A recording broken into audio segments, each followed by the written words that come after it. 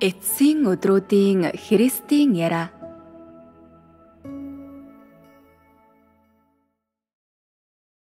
Үннийг эрэлхийлснээр л хүн амь зан чанарын өөрчлөлтөд хүрч чадна. Зөвхөн үннийг эрэлхийлснээр л зан чанарын өөрчлөлтөд хүрч чадна.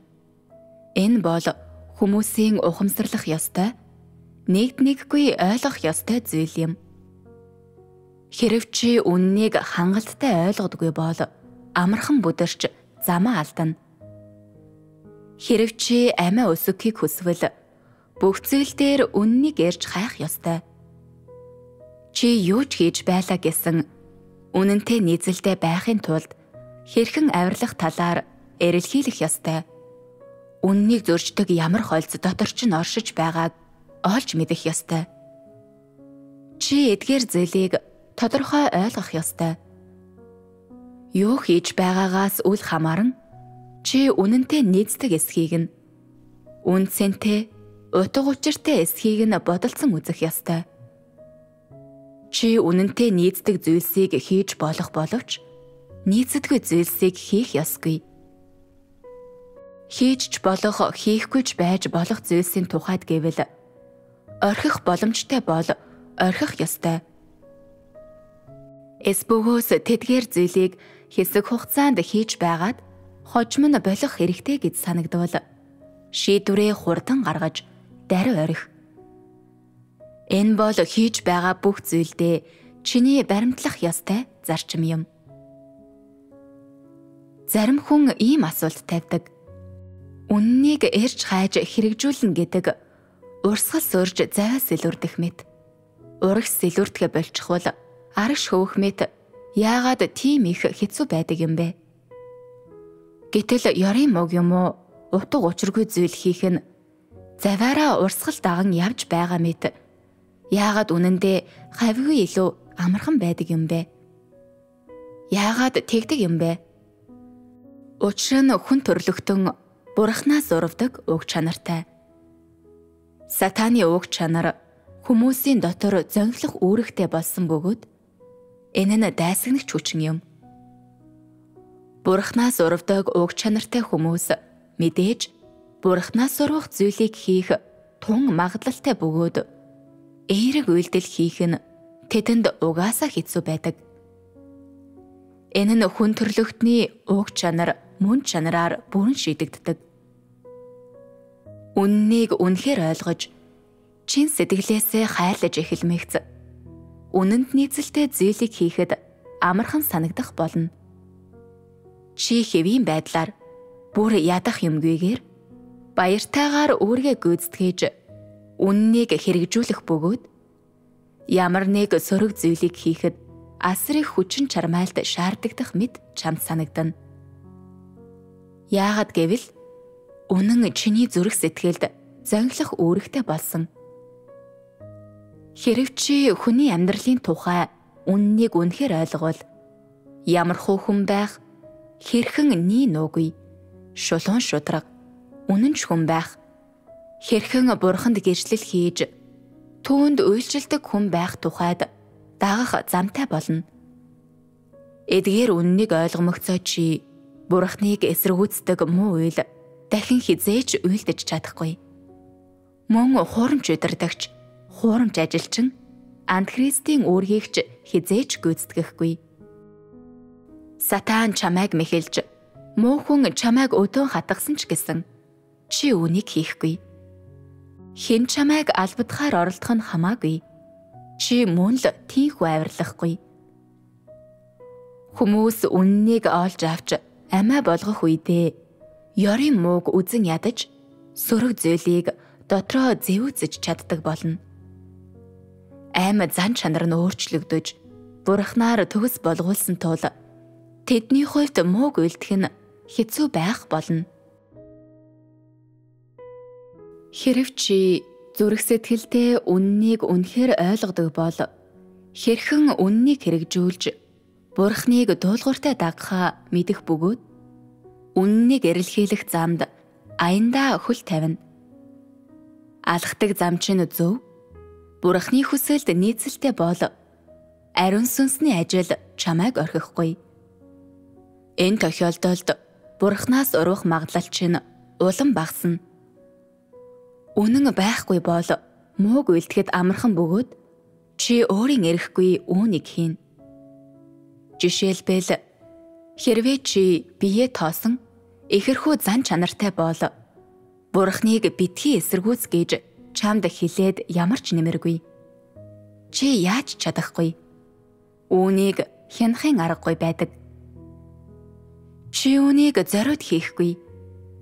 Өөрийн бие тоосон ихэрхүү уг чанарт захирагдан хийх болно. Бие тоосон ихэрхүү зангаасаа болж чи бурхныг дорд үзэж түүнийг шалахгүй гэж үзэхэд хүрнэ. Тэдгээр нь чамайг өөрийгөө өргөмжилж байнга өөрийгөө гайхуулахад хүргэнэ. Эдгээрээс болж чи бусдыг басамжилж зүрх сэтгэлдээ гагцхүү өөрийгөө л тань. Эдгээр нь чиний зүрх сэтгэлдэх Бурхны байр суурийг булааж аваад эцэстээ чамайг Бурхны тэр байр суурьнд суулгаж хүмүүсийг өөртөө захирагт гэж шаардаж өөрийнхөө бодол санаа үзлийг үнэн гэж дээдэлхэд хүргэнэ. Бие тоосон ихэрхүү уг чанарынхаа эргшээл дор хүмүүс маш их ёрийн муу үйл хийсэн байдаг. Ёрийн мууг үйлддэг асуудлаа шийдэхийн тулд тэд эхлээд уг чанараа шийдвэрлэх ёстой.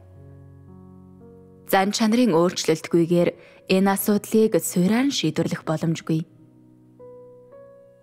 Бурхны талаар зарим нэг ойлголттой болох үед мөн өөрийн завхарлыг харж бие тоосон ихэрхүү зангийн жигшүүртэй муухай байдлыг таних үед чамд зэвүүцмээр ой гутмаар гансрам санагдана. Бурхныг сэтгэл хангалуун болгох зүйлийг чи ухамсартайгаар хийж чаддаг байх бөгөөд ингэснээр амар амгалан мэдэрнэ. Чи ухамсартайгаар Бурхны үгийг уншиж, Бурхныг өргөмжилж, Бурханд гэрчлэл хийж чаддаг болж зүрх сэтгэлдээ таашаалыг мэдрэнэ. Чи ухамсартайгаар бага хуулж, булаа муугаагаа ил болгоно. Ингэснээр дотор чин сайхан санагдаж, сэтгэл санааны байдал чин дээрцнийг мэдэрнэ. Зан чанараа өөрчлөхөөр эрж хайх эхний алхам нь Бурхны үгийг ойлгож үнэнд орохоор эрж хайх явдал юм. Зөвхөн үннийг ойлгосноор л чи ялган таних чадвартай болж чадна. Ялган таних чадвартай болсноор л юмыг нэгд нэггүй ойлгож чадна. Юмыг бүрэн дүүрэн ойлгосноор л чи өөрийгөө үнэхээр мэдэж чадна.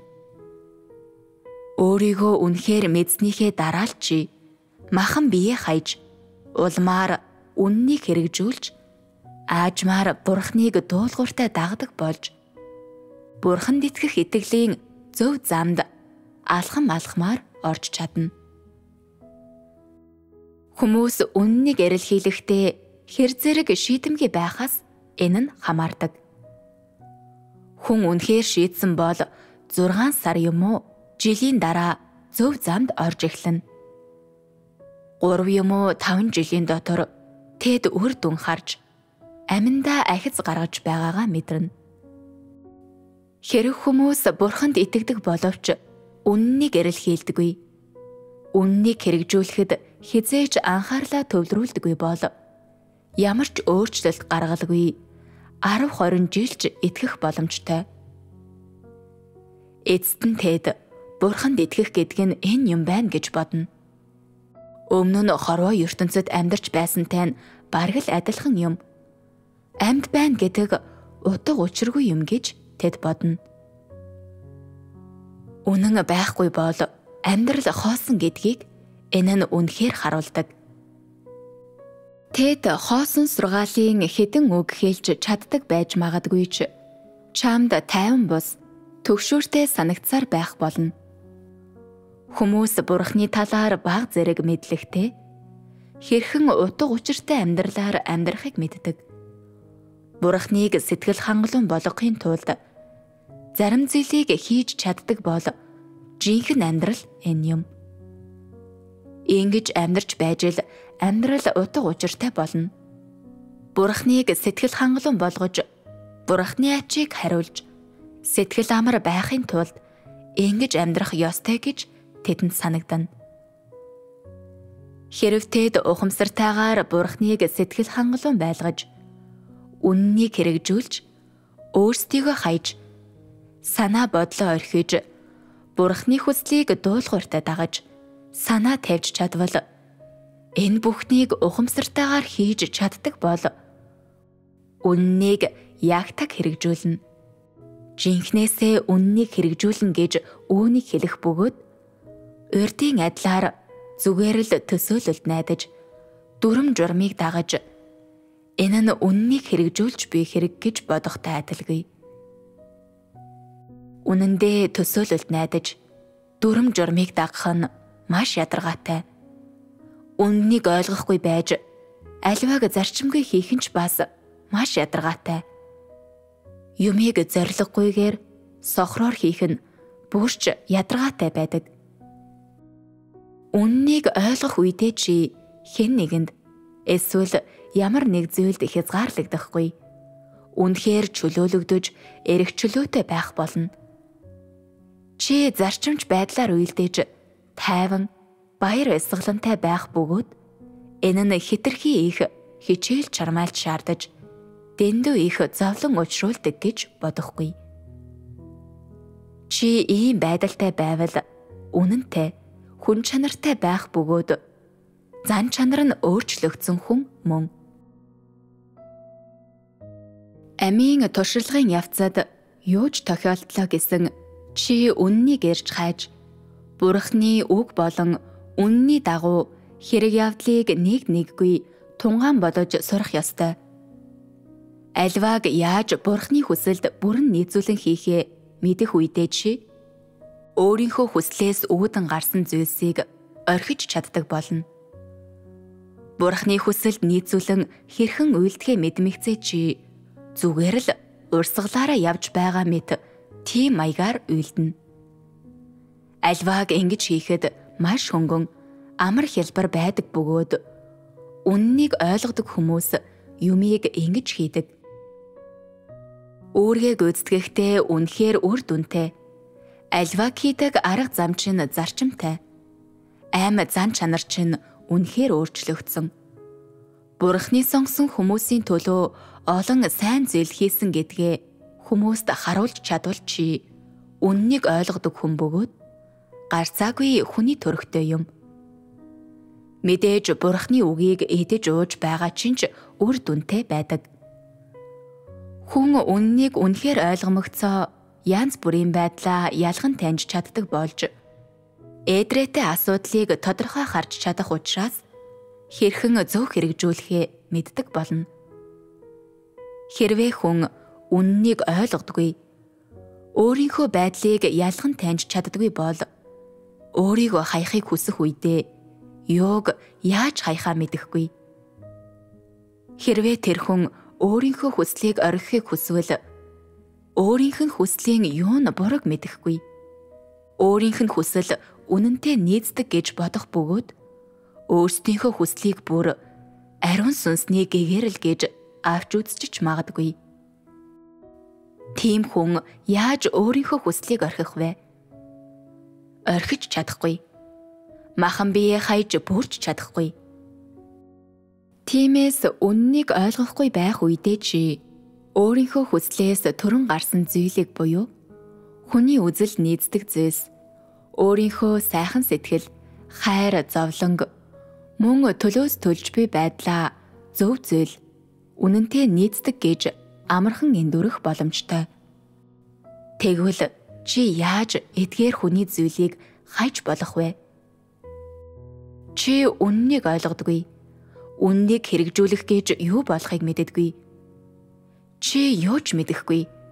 Юу хийхээ мэдэх бараг боломжгүй учраас өөрийнхөө сайн гэж боддог зүйлийг л хийж чадах бөгөөд үүний үр дүнд зарим зүйл дээр гажуудал гаргана.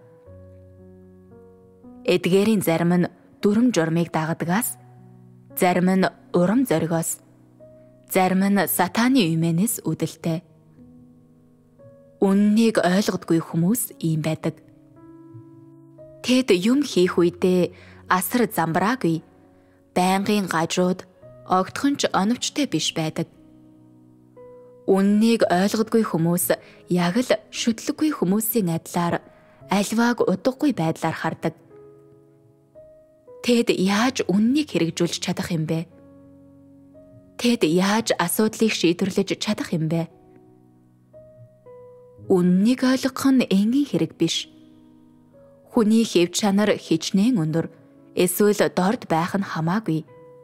Насан туршийн туршилгын дараач тэдний ойлгодог үнний хэмжээ хязгаарлагдмал.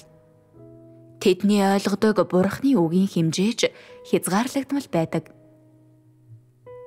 Харьцангуй илүү туршлагатай хүмүүс бол зарим үннийг ойлгодог хүмүүс бөгөөд сайндаа л тэд бурхныг эсэргүүцэх зүйл хийхэ болж ээлт ёрийн муу зүйл хийхэ болж чадна. Тэдний үйлдэлд хувийн санаа зориг огт холилдохгүй байх боломжгүй.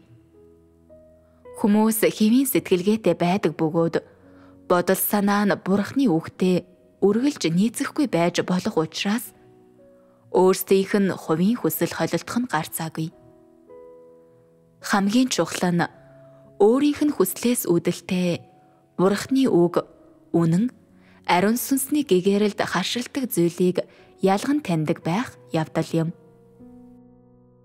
Инхийн тулд Бурхны үгийг ойлгохоор шаргуу ажиллах шаардлагатай. Үннийг ойлгох үедээ л чи ялган таних чадвартай болно. Тэр үед л ёрийн мууг уйлдэхгүй байх чинь бадалгаатай болно. Зан чанараа өөрчлөхөөр эрж хайхдаа чи өөрийгөө мэдэж авахаар хичээл чармаалт гаргаж дараа нь тодорхой гүнд хүрэх ёстой бөгөөд ингэснээр уг чанарын чинь дотор оршдог сатааны хорыг олж илрүүлж чадна. Чи бурхныг эсэргүүцэх, бурхны эсрэг тэрслэх гэж юу гсэн үг болохыг мэдэх ёстой. Мөн бүх хэрэг явдал дээр ямар төрлийн хэрэгжүүлэлт үнэнд нийцхийг мэдэж авах ёстой. Түүнчлэн бурхны хүсэл хүнд тавьдаг түүний шаардлагын талаар зарим нэг ойлголт авах ёстой.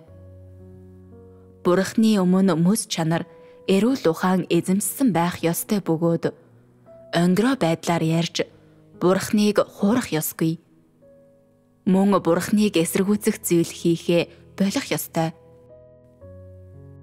Тинхүү зан чанар чинь өөрчлөгдсөн байх болно. Зан чанар нь өөрчлөгдсөн хүмүүс бурхнаас эмээдэг болж бурхны эсрэг тэрслүү байдал нь аажмаар багасдаг. Түүнчлэн тэднийг үүргээ биелүүлэхэд нь бусад хүн санаа зовох шаардлагагүй болж ариун сүнс ч тэдэн дээр үргэлж сахилгажуулах ажил хийх хэрэггүй болдог. Тэд үндсэндээ бурханд дуулууртай байж чаддаг бөгөөд аливаа зүйлийн талаарх үзэл бодол нь үнэнтэй нийцдэг. Энэ бүхэн нь бурхантай нийцэлтэй болсонтэй дүйцэн. Хэнийг нь чамд ямар нэг ажил даалгасан гэж бодъё. Хинч чамайг удирдах хянах шаардлагагүй. Чи энэ ажлыг бурхны үг болон залбирлаар л гүйцэлдүүлж чадна. Энэ ажлын үеэр чи хааш яаш бие тоосон өөрийгөө зөвтгдөг зан гаргахгүй. Бас юмыг өөрийнхөө хийхгүй. Өөр хэнийг ч хязгаарлахгүй. Харин бусдад хайраар тусалж чадна. Чи хангалт ашиг тус олж авахт нь хүмүүрд тусалж хүмүүсийг бурханд итгэх зөв замд орохт нь хөтөлж чадна. Үүнээс гадна Энэ ажлын явцад чи өөрийнхөө байр суурь ашиг сонирхлыг эрж хайдаггүй. Өөрийнхөө олоогүй зүйлийг өөртөө авдаггүй. Өөрийгөө өмөрдөггүй. Хүн чамд яаж ч хандсан түүнд зөв зохистой ханддаг. Тэгвэл чи харьцангуй том биеийн хэмжээтэй хүн байх болно. Хүн ямар нэгэн ажил хариуцсан хийж Бурхны сонгосон хүмүүсийг Бурхны үгийн бодит байдал руу аваачих нь хялбар хэрэг биш. Үнэн бодит байдалгүйгээр үүнийг хийх боломжгүй. Их авьяас бэлэгт найдаж ажиллаад унаж бүтлгүйддэг хүн олон бий. Үнэнгүй хүмүүс туйлын найдваргүй. Зан чанараа өөрчлөөгүй бол бүрч найдваргүй байдаг. Чиний биеийн хэмжээ одоо ямар байна вэ? Чамд зусарддаг хүнд чи хэрхэн хандах ёстой вэ? Хэн нэгэн хүн чиний талаар санал бодолтой эсвэл чамайг шүүмжилсэн байдлаар хардаг бол чи тэдэнд яаж шудраг ухаалаг хандах вэ? Чи сэтгэл хөдлөлтөд автахгүйгээр гагцхүү бурхны шаардлагын дагуу хүмүүсийг дэвшүүлж сонгож чадах уу? Чи одоо байгаа биеийн хэмжээгээрээ эдгээр зүйлийг үнэхээр хийж чадах уу? Тухайн газарт хэдэн жил ажилласны чин дараа ихэнх хүмүүс чамайг төдийлөн сайн үнэлдэггүй бол чи үүргээ хангалттай сайн биелүүлдэггүй. Бурхан ашиглахад тохирохгүй гэсэн үг юм. Хэрвээ ихэнх хүмүүс чиний хийдэг зүйлийг сайн зохистой гэж үздэг бол чи үндсэндээ ашиглагдахад тохирно. Чамд үнэн байхгүй бол бурханд ашиглагдахад тохирох шатанд хүрэх боломжгүй. Чи тохиромжтой болохын тулд үннийг олж авах ёстой. Амийг эрэлхийлэхдээ хоёр зүйлд анхаарах ёстой. Нэгдүгээрт Бурхны үгэн дотроос үннийг ойлгох.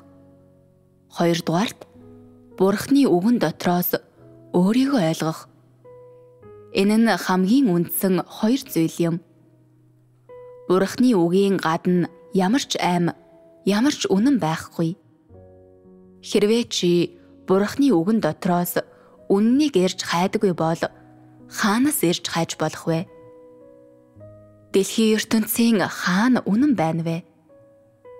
Дэлхийн сонин хэвлэл мэдээлэл Бурхны үгийг мэдээлдэгөө. Дэлхийн улс төрийн намууд Бурханд гэрчлэл хийдэгүү. Дэлхийн аль ч улс оронд Бурхны үгийг ил тод түгээх нь хийж болмоор үү? Огт үгүй. Ийм учраас энэ дэлхийд үнэн байдаггүй. Диавол сатан дэлхий дээр ноёрхож дэлхийн ертөнц харанхуй ёрын муу байдаг. Ганц ч болов хумсын чинээхэн үнэн хаана байна вэ? Бурхны үгээс үннийг ойлгохын хамгийн чухал хэсгүүд бол Бурхны үгэн дотроос Бурхныг ойлгох. Бурхны үгэн дотроос хүний амьдралыг ойлгох. Бурхны үгэн дотроос өөрийгөө үнэхээр ойлгож хүний оршин тогтнолын утга учир болон үнний бусад талыг олж илрүүлэх явдал юм. Бүх үнэн Бурхны үгэн дотор байдаг. Бурхны үгээр дамжихгүйгээр үнэнд орж чадахгүй. Бурхны үгийг туулж хэрэгжүүлснээр л чи үнний талаарх ойлголтод хүрч чадна. Үннийг үнэхээр ойлгох гэдэг нь Бурхны үгийг ойлгоно гэсэн үг юм. Энэ бол хамгийн үндсэн зүйл. Зарим хүн ажиллаж номлодогч гаднаа бурхны үгийн талаар нөхөрлөж байгаа мэт харагддаг мөртөө бурхны үгийн өгчилсэн утгыг л яриад ямар ч мөн чанарын зүйл дурддаггүй. Тэдний номлол нь хэлний сурах бичгээс зааж байгаа мэт төрөл төрлөөр нь тал бүрээр нь эмхэлсэн байдаг бөгөөд тэднийг ярьж дуусах үед хүн бүхэн магтаж энэ хүн бодит байдалтай юм. Тэр маш сайн ийм дэлгэрэнгүй номлолоо гэдэг. Номлож дууссныхаа дараа тийм хүмүүс өөрсдийнх нь номлолыг эмхэтгэж чуулган дотор тараа гэж бусдад хэлдэг. Ингэснээрээ тэд хүмүүсийг мэхлэгч болдог. Тэд номлолдоо бурхны үгээс иш татдаг. Тэдний номлол үнэнд нийцдэг мэт сонсогддог боловч тэд альвааг агуулгаас нь гажуудуулан эш татаж зарчимд хашилсан зөрүү буруу тайлбар хийдэг. Илүү анхааралтай ялган салгавал тэдгээр нь бичиг үсэг, хоосон сургаалын үг, хүний төсөөлөл, үзэл, түүнчлэн бурхныг хязгаарладаг зарим зүйл төдий гэдгийг чи харна. Ийм нөхөрлөл номлол нь Бурхны ажилд саад болохтой адил биш үү? Энэ бол Бурхныг эсэргүүцдэг үйлчлэл юм. Эрүүл ухаантай хүн үг ярианыхаа цар хүрээг хязгаарлах ёстой.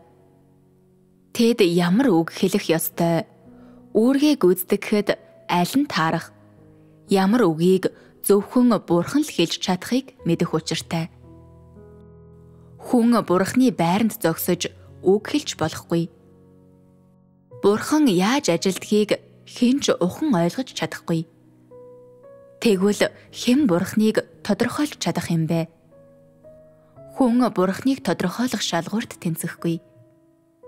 Эрүүл ухаангүй юм хийхээс зайлсхийхийн тулд үүнийг ойлгох ёстой. Эрүүл ухаантай хүний хувьд чи өөрийнхөө байрыг мэдэж юу хэлэх нь зөв болохыг мэдэх ёстой.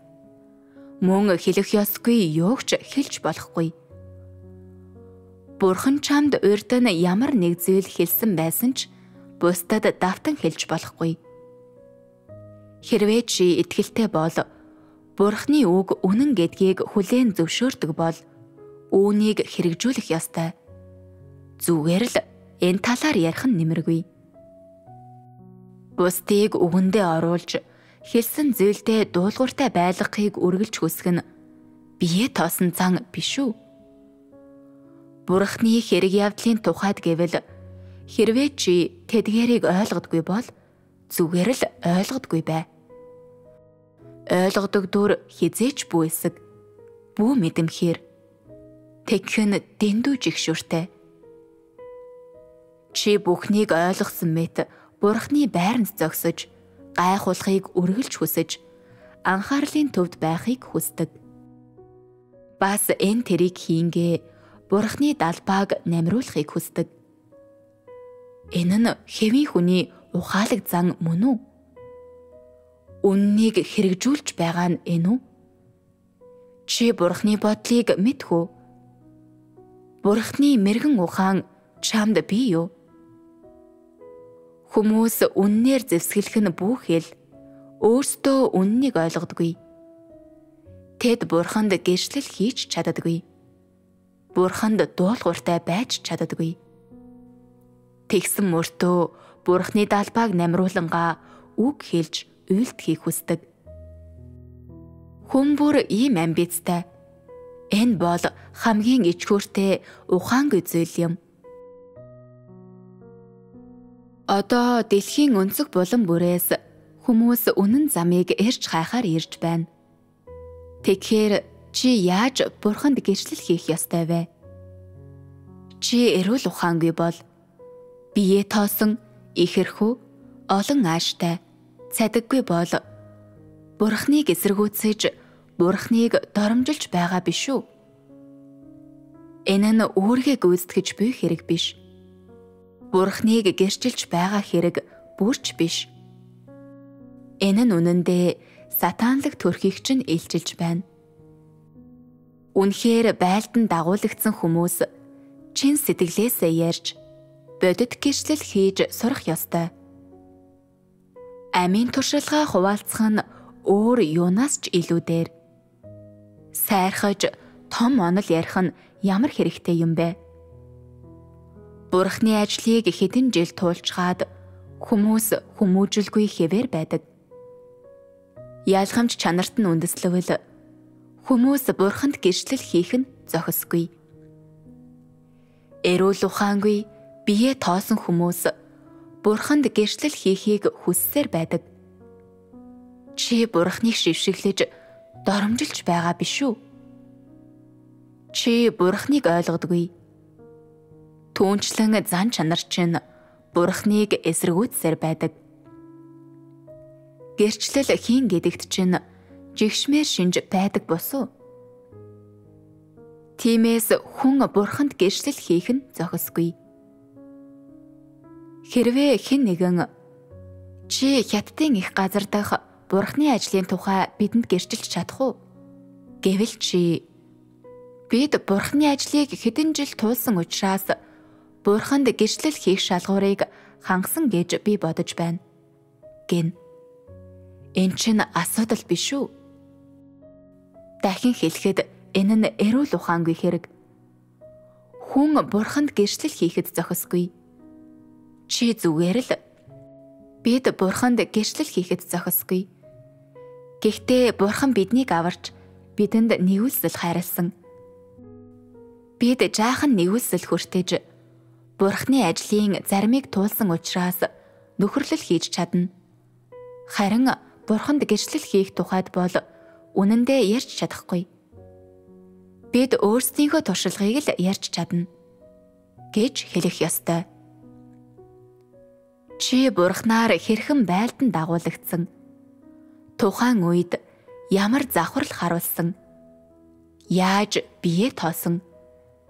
Байлдан дагуулгдсны дараа эцэст нь ямар үр дүн гарсан ямар шийдвэр гаргасан талаараа нөхөрлөж болно. Үнэн хэрэгтээ Бурхны төлөө гэрчлэл хийхийн тулд бодит туршлагын талаар ярих нь Бурхны хүсэлд хамгийн их нийцдэг бөгөөд энэ бол Бурхны шаарддаг зүйл. Бурхны төлөө гэрчлэл хийхийн тулд байр суурь эзлэхийг хүсэх нь асар том алдаа. Чи эрүүл ухаангүй бас бие тоосон зантай юм. Би өөрийнхөө зарим туршлагыг ярив. Харин би бурхны төлөө гэрчлэл хийхэд тохирохгүй. Би эхлээд өөр зүйлийн талаар нөхөрлөе. Бурхан яагаад хятадд бие махбодтой болсон бэ? Та нар үүнийг сайн ойлгохгүй байгаа байх. Бид бурхны ажлаас үүнийг ойлгосон. Хятадууд бид агуу улаан лууны цагирлан хөвтөж буй газар төрж бузар заваан газар өссөн. Биднийг сатан хамгийн гүн завхруулсан. Бид хинээс жилүү худал ярддаг. Хүн чанар хамгийн муутай.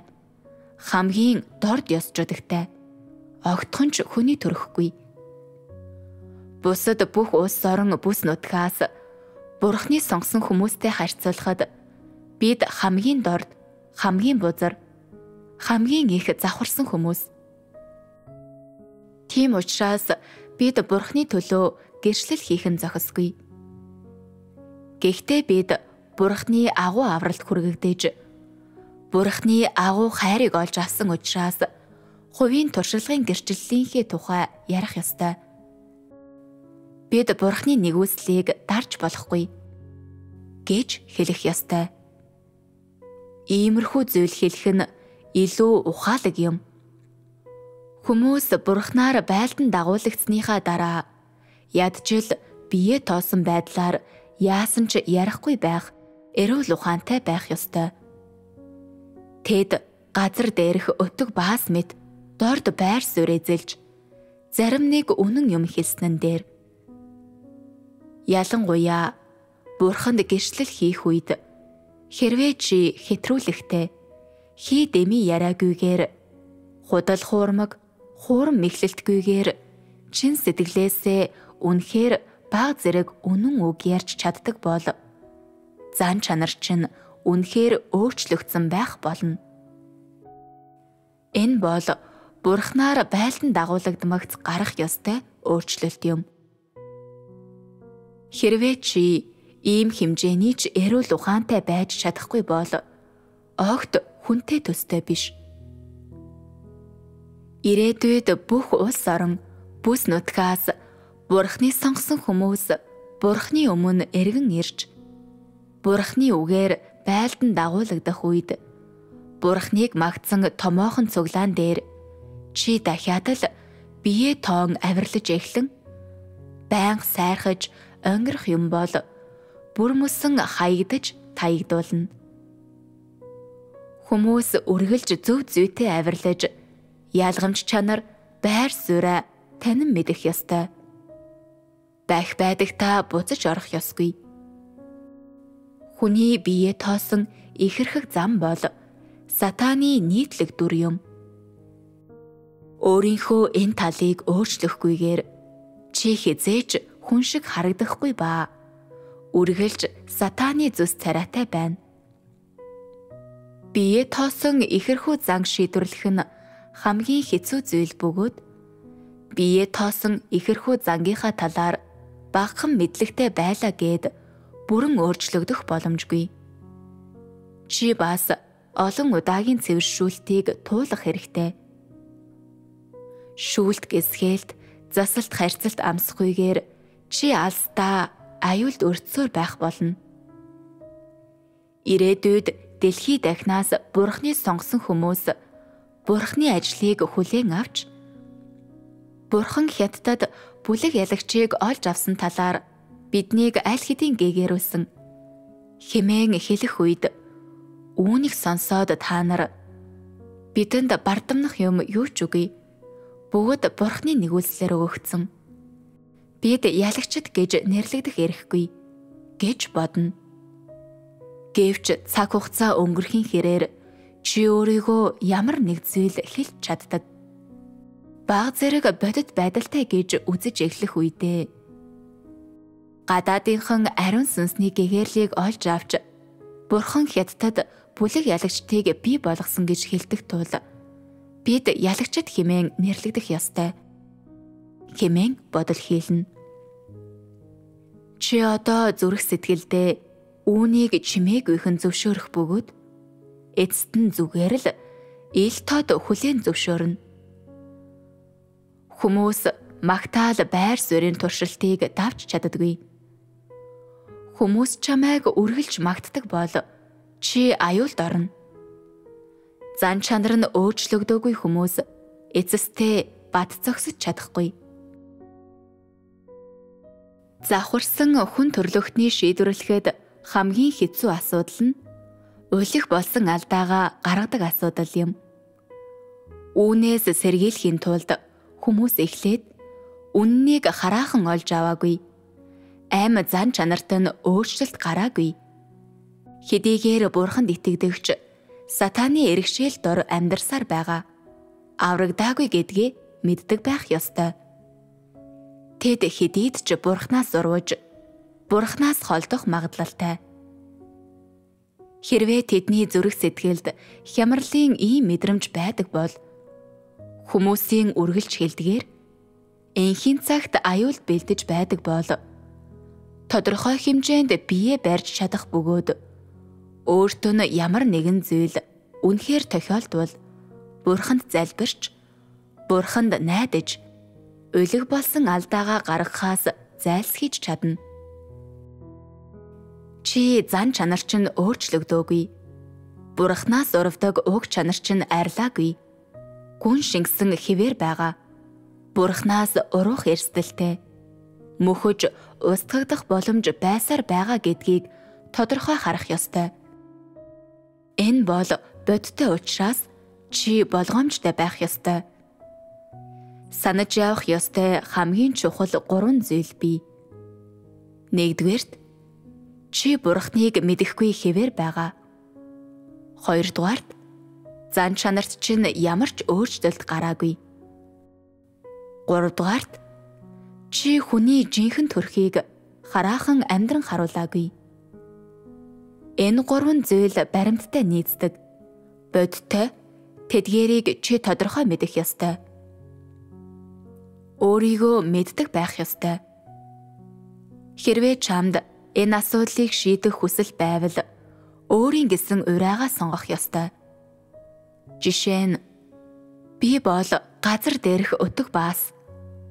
Би бол диавол. Би үргэлж хуучин замдаа буцаад ордог. Би үргэлж аюулд байдаг. Эдгээрийн аль нь ч чиний хувийн урай болоход тохирно. Үүнийг чи өөртөө цаг үргэлж сануулж байвал тустай өөртөө дахин давтан хэлж энэ талаар эргэцүүл. Тэгвэл чи арай цөөхөн алдаа гаргаж эсвэл алдаа гаргахаа болж магадгүй. Гэсэн хэдий ч үннийг ойлгож, уг чанараа мэдэж, завхарсан зан чанараасаа ангижрахын тулд илүү их цаг гарган Бурхны үгийг унших нь хамгийн чухал. Тэгсэн цагт л чи аюулгүй байна. Өөр нэг зүйл бол Бурхныг гэрчлэгчийн байр суурьнд хизээж бүү зогс. Өөрийгөө Бурхныг гэрчлэгч гэж хизээж бүү нэрл. Зөвхөн хувийн туршилгаал ярьж болно. Бурхан та нарыг хэрхэн аварсан тухай ярьж Бурхан та нарыг хэрхэн байлдан дагуулсан тухай нөхөрлөж өөрсдөд чинь Бурханы хайрлсан нэгүслийн талаар ярьж болно. Та нар хамгийн гүн гүнзгий завхарсан хүмүүс. Та нар бол өтөг бууз хог хаягдал. Бурхан та нарыг өргөсний ачаар л та нар одоо Бурханы эцсийн өдрүүдийн ажлыг хүлээн авч чадсан. Та нар хамгийн завхарсан хамгийн бузар булай хүмүүс учраас бие махбодтой болсон бурхан та нарыг аварч ийм үлэмжих нэвсэл хайрлсан учраас л ингэсэн. Иймээс та нарт бардамнах зүйл юу ч байхгүй бөгөөд бурхныг магтаж түүнд талархахаас өөр аргагүй. Та нар бурхны нэгүслийн ачаар л аврагддаг. Та нарыг яагаад хамгийн азтай хүмүүс гэдэг вэ? Та нарыг зарим нэг давуу талтай эсвэл сайн чанартай учраас азтай гэдэггүй. Харин хятадд төрж сатанаар хамгийн их завхруулагдаж бузарлагдсан учраас л азтай гэдэг. Бурхан өөрийнхөө удирдлагын төлөвлөгөөний дагуу агуу улаан лууны цариглан хэвтэж буй газар нутгийн хамгийн бузар, хамгийн завхарсан хүмүүсийг эхлээд аварч нэг багц үлгэр дуурайл загварыг эхлээд бий болгосон. Тийм учраас Бурхан та бүхнийг сонгосон. Та нар бол Бурханы урдчлан тогтоож сонгосон хүмүүс юм. Хэрвээ Бурханд ийм төлөвлөгөө байгаагүй бол та нар үрд мөхөх байлаа. Тиймээс та нарыг хамгийн азтай хүмүүс гэж хэлж болно. Гэсэн хэдий ч та нарт бахархаад байх юм үгүй. Та нар яасан ч сайрхаж болохгүй. Бурхны үгийн шүүлт гисгэлтийг туулснаар ямар нэг зүйл олж авч жинхэнэ туршлагатай болдог учраас чи Бурхныг гэрчлэх ёстой. Бурханд гэрчлэл хийхдээ Бурхан хүмүүсийг хэрхэн шүүж гисгээдэг. Хүмүүсийг цэвэршүүлж зан чанарыг нь өөрчлөхдөө ямар шалгалт ашигладаг тухай голчлон ярих ёстой. Та нар бас туршилгаараа хичнээн их завхрал харуулсан хэрэг зовсон бурхныг эсэргүүцэх зүйл хэр ихийг хийсэн эцэст нь бурхнаар хэрхэн байлдан дагуулгдсанаа ярих ёстой мөн бурхны ажлын талаар хэр их бодит мэдлэг та нарт байгааг болон хэрхэн бурханд гэрчлэл хийж хайрыг нь хариулах ёстой талаарч бас ярих учиртай. Ийм төрлийн яриаг илүү боддоор ярангаа энгийн байдлаар ярих ёстой. Хоосон онол бүү яр. Илүү бодтой байдлаар яр. Үнэн сэтгэлээсээ яр Та нар ингэж альвааг туулах ёстой. Өнгөрхийн тулд гүн гүнзгий санагддаг хоосон онлоор өөрсдийгөө бүү зэвсгэл. Ингэх нь нилээд бие тоосон эрүүл ухаангүй харагдуулдаг. Та нар бодит туршилгаасаа бодтой зүйлсийн талаар ярьж илүү үнэн сэтгэлээсээ ярих ёстой. Энэ нь бусдад хамгийн их ашиг тустай бөгөөд тэдэнд харуулхад хамгийн тохиромжтой юм. Та нар Бурхныг хамгийн их эсэргүүцдэг. Бурхныг дуулууртай дагахтаа хамгийн тааруу хүмүүс байсан боловч одоо байлдан дагуулгдсан. Үүнийг хизээч бүү март. Энэ асуудлуудыг та нар илүү их эргцүүлж бодох ёстой. Хүмүүс үүнийг тодорхой ойлгомогцоо хэрхэн гэрчлэл хийхээ мэдэх болно. Эс бөгөөс тэд ичүүргүй, эрүүл ухаангүй үйлдэл хийж болзошгүй. Энэ нь бурханд гэрчлэл хийж байгаа биш. Харин бурхныг гутааж байгаа хэрэг. Үннийг жинхнээсээ туулж ойлгохгүйгээр бурханд гэрчлэл хийх боломжгүй. Бурханд итгэх итгэл нь мөнгөнөж будилсан хүмүүс Бурхныг гэрчилж хизээж чадахгүй.